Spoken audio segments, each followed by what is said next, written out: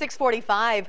Over the last several weeks, many of you have been asking 10 on your side, what in the world is going on with the Dick's Sporting Goods and Field and Stream store in Chesapeake's Greenbrier area? Earlier this year, they abruptly closed after only six years there, but a sign says it's temporary. 10 on your sides, Brett Hall joins us now with more information you will only see first on Wavy TV 10. Brett, out here breaking all the big stories. What's the one today, Brett? Well, yeah, I was also wondering why is it temporarily Yeah. closed? It's only been there six years. And they say renovations, a lot of people go a lot longer without that. But we are learning that House of Sport is going to be here, one of the first locations in Virginia. It's the company's new experiential retail format. We say experiential because uh, you may be able to tell by the promotional video that they sent out to us, it's a lot more than just shopping.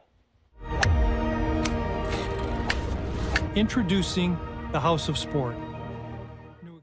Yeah, yesterday on Dick's Sporting Goods' fourth quarter earnings call, company leaders confirmed the former Chesapeake Dick's Sporting Goods and Field and Stream store will be converted into their House of Sport model, which there are only three others in the country right now. A spokesperson says athletes can look forward to an assortment of products as they've already had, but as well as elevated in-store experiences, including a climbing wall, batting cages, golf bays, and with a TrackMan simulator. I don't even know what that is, but it sounds cool.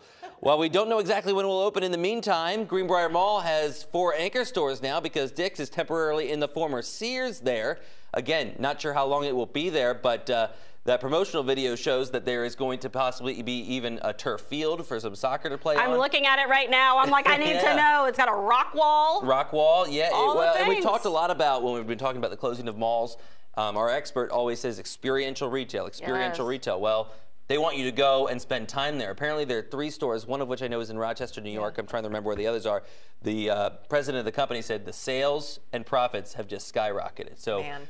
Field and Stream, though, not coming back at any of the, they're closing, they're getting rid of that store altogether Yeah. uh, from the company because they're going to convert them all into these. Well, So, I'm yeah. nervous because I'm already a golf widow. I lose my husband to the golf course on a regular I said, basis. look, it says a dream for golfers. Katie, your husband's going to go MIA. that I'm going to lose him. I'm going to lose him for good.